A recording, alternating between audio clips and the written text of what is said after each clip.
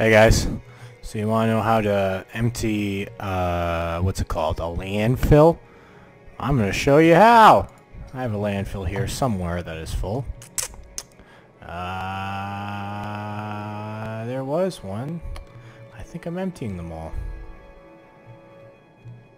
Ah, there it is. Right here.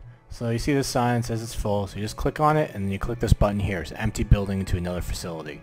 So I'll empty it and usually take it to uh, another facility that burns garbage. So if you have a landfill right beside a garbage, uh, what's it called again? I have one. I thought I had one over here somewhere.